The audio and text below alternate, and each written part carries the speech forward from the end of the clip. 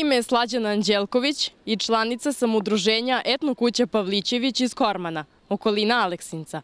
U današnjoj emisiji gledat ćete šta je najbolje za srpsko seosko domaćinstvo, a to je udruživanje i zajednički rad.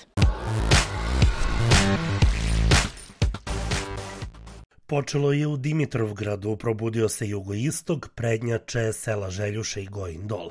Još jedna kuća u Željuši, pored onih prethodnih sedam, površine 65 kvadratnih metara i okućnice 638 kvadratna metra. Procenjene vrednosti od 1.164.126 dinara. Došla je na red i osma kuća u kojoj će živeti porodica sa troje dece. Ukupno do sada ovo selo je bogatije za osam porodica. Druga kuća je u selu Gojin dol, površine 66 kvadratnih metara i okućnice 773 kvadratnih kvadratna metra, a procenjena tržišna vrednost je 903.665 dinara. Veliko interesovanje za kuće na selu, pogotovo mladih ljudi, bez sumnje je potvrda da radimo svi zajedno valjan posao za državu Srbiju, poručio je ministar za brigu o selu Milan Krkobabić.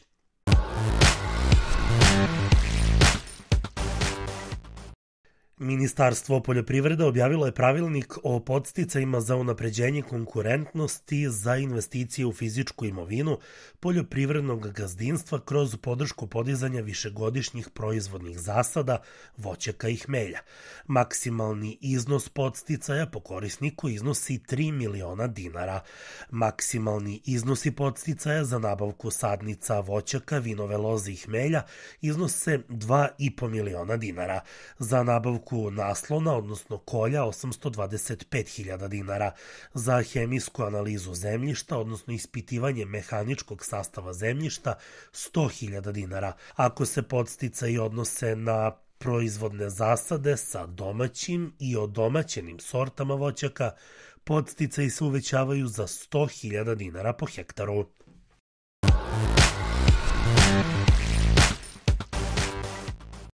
Ministarka poljoprivrede Jelena Tanasković najavila je na Koponik Biznis forumu da će poljoprivrednici od ove godine moći da nose mleko na analizu u referentnu državnu nacionalnu laboratoriju u Batajnici. Ona je objasnila da Direkcija za nacionalne referentne laboratorije do sada nije mogla da bude otvorena ka tržištu, jer nije mogla da izda fiskalni račun. Upravo sada smo otvorili evidencioni račun i spremamo se da izmenimo zakonodavni okvir koji je obavezuje da za to naplaćuje taksu. Ona će već ove godine postati otvorena za tržište i moći će da radi analize za poljoprivrednike, rekla je ministarka na panelu poljoprivreda u deglobalizovanom svetu i izazovi s kojima će se Srbija suočiti.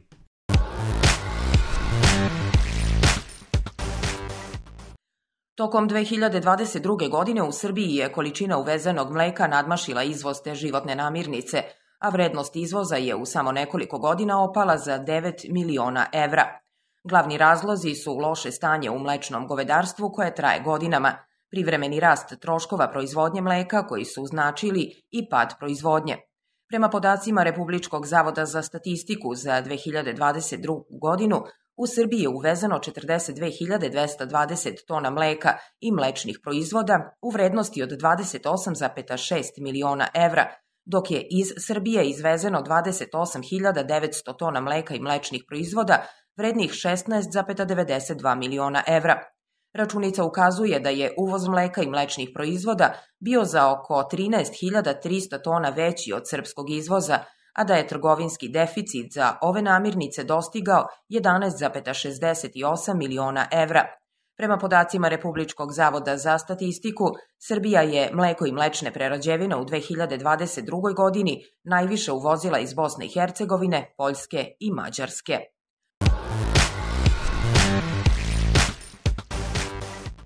U svom najnovijem izveštaju o snabdevanju i potražnji žitarica, koji je Organizacija Ujedinjenih nacija za hranu i poljoprivredu objavila, nalaze se i preliminarna prognoza za svetsku proizvodnju pšenice u 2023. godini. Predviđa se globalni prinos od 784 miliona tona, što bi bio drugi najveći zabeležen prinos, iako manji u odnosu na prethodnu godinu, ističe se u izveštaju Organizacije Ujedinjenih nacija za hranu i poljoprivredu. U zemljama južne hemisfere izgledi za proizvodnju žitarica u 2023. godini su generalno povoljni, a predviđa se da će ukupni zasadi kukuruza u Brazilu dostići rekordan nivo.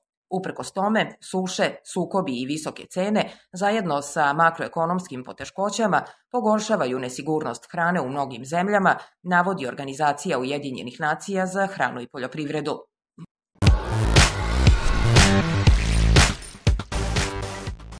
Spoj nauke i prakse, besplatna analiza kiselosti zemljišta, kreiranje travnih smeša po naručbini, proizvedite kvalitetnu stočnu hranu, ozelenite površine, za našu zemlju, naše seme, Institut za krmno bilje, Kruševac. Na net izađi, nas pronađi. Šopiko RS.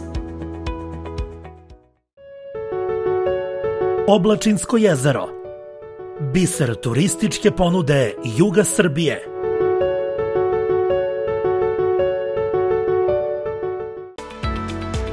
Naše seme, vaš uspeh. Institut za povrtarstvo Smederevska palanka. Na net izađi, nas pronađi. Šopiko RS. Spoj nauke i prakse, besplatna analiza kiselosti zemljišta, kreiranje travnih smeša po naručbini, proizvedite kvalitetnu stočnu hranu, ozelenite površine, za našu zemlju, naše seme, Institut za krmno bilje, Kruševac. Na net izađi, nas pronađi. Šopiko RS. Oblačinsko jezero – Biser turističke ponude Juga Srbije.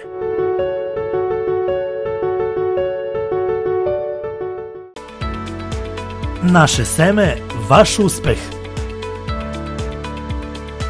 Institut za povrtarstvo Smederevska palanka. Na net izađi, nas pronađi. Šopiko RS. Oblačinsko jezero – Biser turističke ponude Juga Srbije.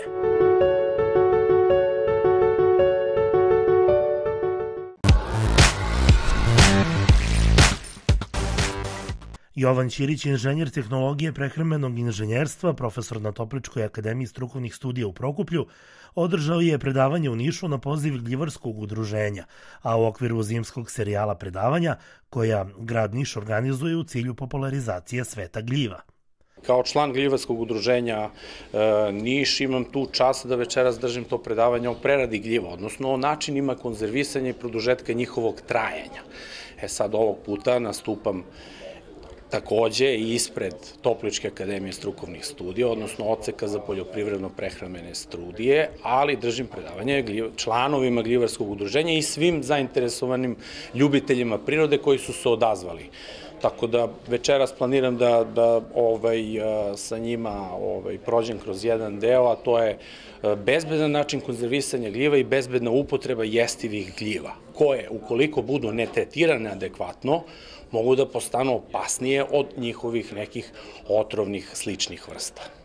Profesor Ćirić kaže da je od najranijeg detinstva voleo da vreme provodi u prirodi, te i danas svaki trenutak svog slobodnog vremena koristi da sa porodicom poseti selo i boravi na svežem vazduhu. Od najranijeg detinstva ja sam jednostavno naučio sa, sa mojima u selu, odnosno dok su moji radili, veći deo mog života detinstva čuvala me je ovaj, majka moje majke u Belopalanačkom kraju. E, ja sam, znači, od najranijeg detinstva bio i na terenu, i sa gljivama, i sa tim ljudima, životinjama, i sami se bavimo preradom i proizvodnjom nekih poljoprivrednih, odnosno proizvodnjom voća i povrća. Srbija ima ogromni potencijal, ali nedovoljno znanja i nedovoljno iskusnih ljudi kada se govori o gljivarstvu, kaže profesor Ćirić. Mi imamo ogroman potencijal, ali nažalost još uvek nedovoljno znanja, i još uvek nedovoljno, nedovoljno iskusnih ljudi koji to mogu da prevedu. Gljivarsko udruženje Niš se trudi da što više i što veći broj ljudi edukuje, jer generalno u Evropi se mnogo više konzumiraju te divlje, odnosno samorodne gljive, nego kod nas. A opet, s obzirom na eto neke nemile događaje, ljudi imaju sad još veću odbojnost, mi imamo veliki procenat s obzirom na malu konzumaciju. Tako da u 95% slučajeva je ta jedna otrovna vrsta, to je ta amanita faloides ili zelena pupavka, dođe do zamene, to se dešavalo i ranije, toga ima. E sad, naš cilj je da što veći broj članova obučimo i jednostavno ukažemo na te neke prednosti i tu raznovrsnost jer generalno od gajenih, kultivisanih gljiva mi znamo samo za recimo dve, tri konzumiramo njih i ljudi jednostavno nisu ni svesni šta sve oni propuštaju, kako je to carstvo gljiva, kakav je taj svet. Ako govorimo samo o konzumaciji i preradi, da ne govorimo o lepotama, o uživanju u prirodi, o, o neverovatnim bojama, pejzažima i o boravku na, na, na, u zdravoj sredini. Gljivarstvo je, dodaje profesor Jovanović, odlična šansa i za razvoj biznisa jer se velike količine gljiva prodaju i izvoze po niskoj ceni, a prodaju se znatno skuplje. Konkretno je cena suvog vrganja u Austriji, Španiji i Italiji u desetostručena, a to treba iskoristiti, dodaje on.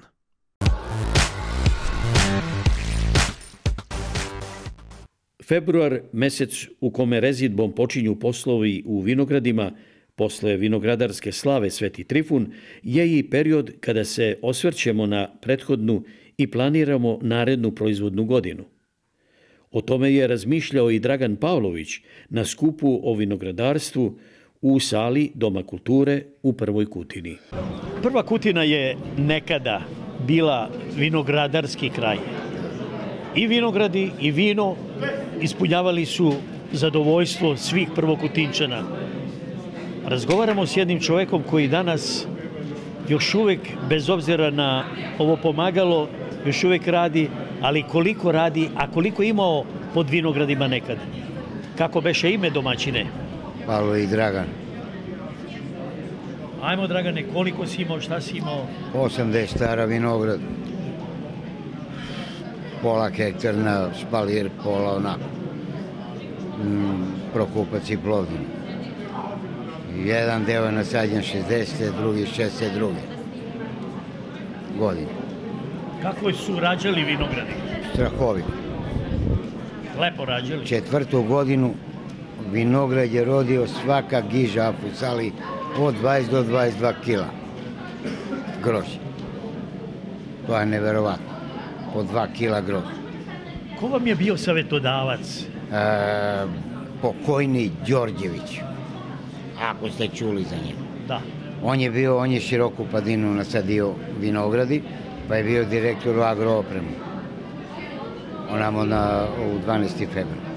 On je 10 godine dolazio i ocu pokazivo kako da reže, šta da reže, kako da formira gižu i sve. I dokle stigo ste sa tim vinogradima, sa pa grožem, sa taj, vinom? taj vinograd. Moj otac je dobio prvu nagradu u Nišu na one što su bile manifestacije najbolje grožđe, najbolje ono kod uh, tvrđave u to vreme. I on, bila izložba? Pa on je, on je išao 13 godina u Zagreb, dve u Ljubljanu i od 70. godine u Beograd. A šta je radio tamo? Prodajemo grožđe. A u Zagrebu ste prodavali? Otac nisam ja, ja sam još Aha. bio manji. Kakva je danas situacija u prvoj kutini što Nikad. se vinograda tiče? Pa slaba. Ja imam vinograd, ima još, možda još deset čoveka ima nešto vinograda i ništa više. Ima li šanse da se obnove vinogradi? E, to nema, mlade više ne rade, nema deca, niko se ne ženi, sve je propalo. Podizanje novih vinograda je skupo? Skupo. Nema, treba, treba 25.000 evra da, da podigneš hektar vinograda, da to ne, bude... Danas je nešto treba. više. To je bilo pa, prošli i preprošli Pa dobro, godine. bilo, ali sad, ja od ove godine ne kažem, mnogo više. Sve je poskupilo, sve je otišlo po 100%. Čuvate li podrum? Bac, pa, bačve, imam. kace? Pa imam neka burić, imam, bačvu sam uništio, to je bilo 2000 litra. Bile burić, imam još od vina 600, 800 litra, 400 litra, 300 i ono, ali to će ode. Posetit ćemo vas da vidimo podrum i probamo vino. Ima li vina? Imam crno, imam belo nešto, imam rakiju. Sad sam peko ekološko. ekološka Rakiju. rakija, nije prskano, nije, nema šećer, nema ništa. Ja sam ih predao za takmičenje. Da vidim, da vidim šta cene oni inolozi. Jer nema ni šećer, nema, nije prskan, nije ništa.